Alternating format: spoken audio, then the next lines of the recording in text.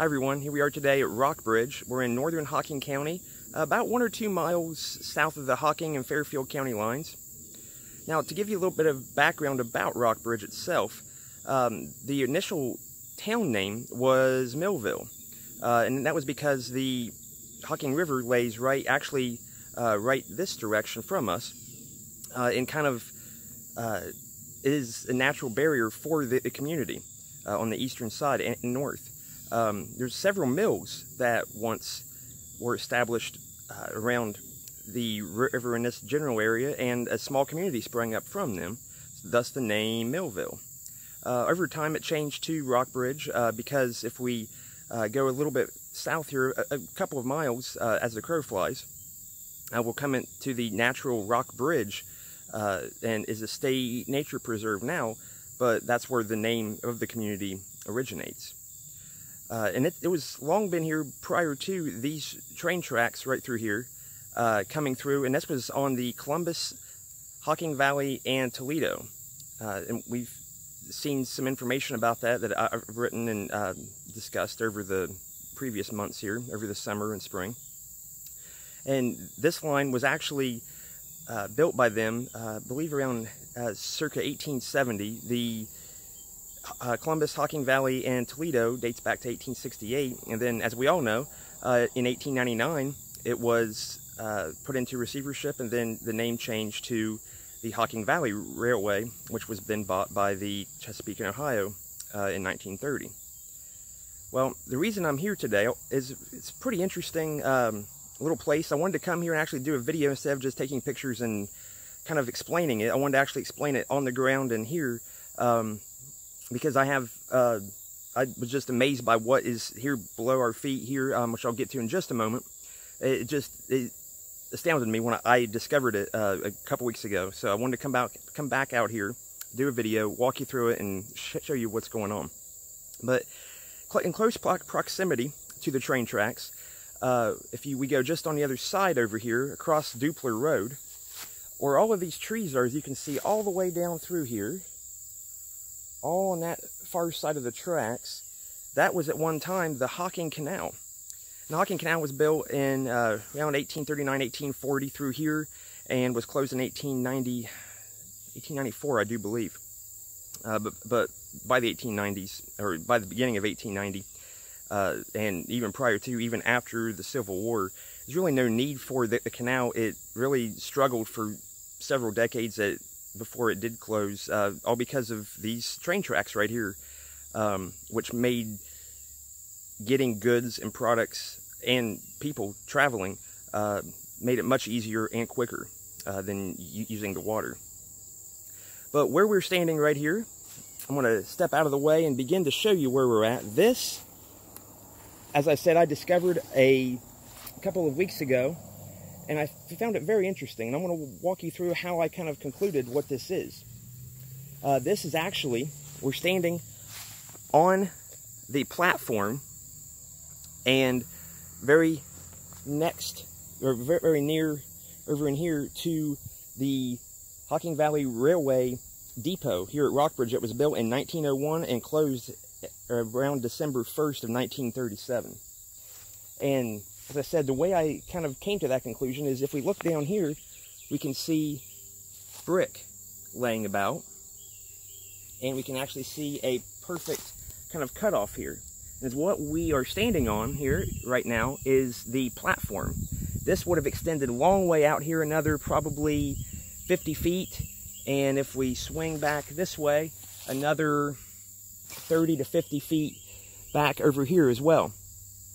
And this would have been the place where passengers and engineers and conductors would have gotten off the train, stepped into the, station, or into the depot rather, and conducted business, uh, bought tickets, or waited for a connecting train that they needed, uh, something to that effect.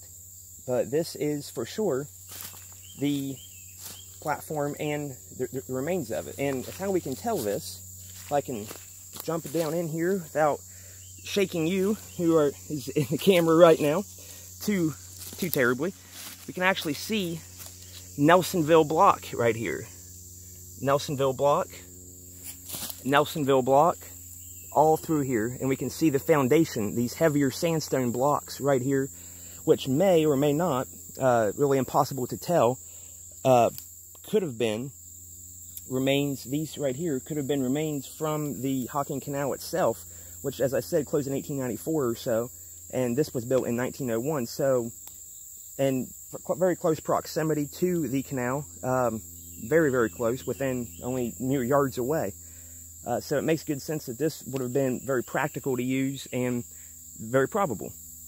So very fascinating, just absolutely astounding that it's here. I'm sure people know about this place, I would imagine. Uh, people here in town, here locally, but as my, to my knowledge, there is really no one uh, historically or anybody that's really documented this place uh, to show that it's here, to show that there are remains here, that there is evidence of it. Um, because we know that the Hocking Valley purchased brick from uh, plants in Nelsonville and used them to build and build their platforms. Uh, we've seen this at Murray City. Uh, we've seen it at Canal Winchester and uh, other places. So this is um, kind of a dead giveaway, as it were, that this place is for sure um, the Rockbridge Depot. Um, now there wasn't there wasn't really anything uh, historically significant that happened here. Um, you know, we're not we're not talking about you know as place that was you know a, a grand depot, a, a, massive complex and structure. Um, you know, there was no coal mining that happened here or iron production. You know, it wasn't hauling uh, or, or, brick for that matter. We we weren't seeing uh, heavy loads of uh, products and goods being loaded right here. But these tracks that's right behind us here, these tracks are the reason that this depot was here because we needed, or it was needed, um, to kind of be a, a junction or a, a um, uh, I guess the proper word would be kind of just a stopping point for uh, all of the coal and brick and iron uh, manufacturing that was going on in the South.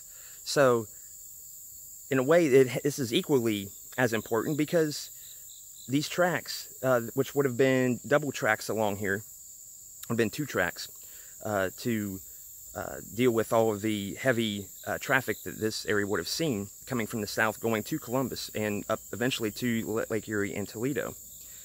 Uh, and other points as we've seen from Chicago or to the East Coast.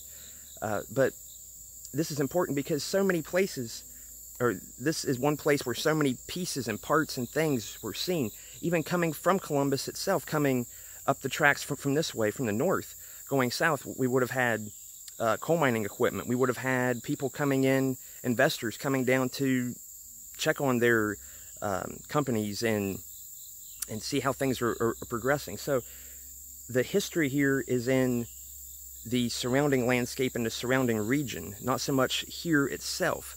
Um, but it's still this this place is still an incredible uh, landmark and incredible place to visit and to come to and to to respect because as I said this place has so much history and is so old and has been absorbed by the landscape absorbed by vegetation but yet it's still here for us to appreciate and admire and to understand and to to really kind of use as a tool to, to really understand too how the Hocking Valley um, is the impact that that company, even though it only existed for about 30 years, and really we, can go back and say for about 60 years, if we go back to about 18, you know, the 1868, 1870, when the line uh, began to be built and open, uh, how much impact it had on the Hocking Valley region, on southeastern Ohio, and Appalachia, Ohio as a whole. So I hope you found this interesting.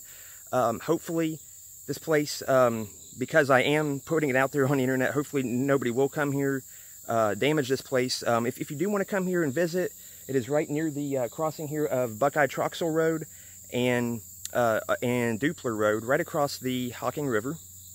But if you do come here and observe this, please be careful of the train tracks. There's not a lot of traffic on the tracks, but at the same time, you, never want to be um, messing around train tracks, uh, obviously, and obviously the road as well, uh, which is quite busy because of the Hocking Valley Canoe Livery uses this road. So um, do be careful. Um, watch out for snakes and other uh, things uh, during the uh, hotter months uh, because there are a lot of brick, there is a lot of rock here, so it's not uh, that safe of a place, but it is very important and very vital to acknowledge that it's here and to hopefully even protect it to some degree. So, as I said, I hope you found this interesting, um, and hopefully this kind of gives us a little bit more of a glimpse into the Hocking Valley and uh, the imprints it left on the landscape.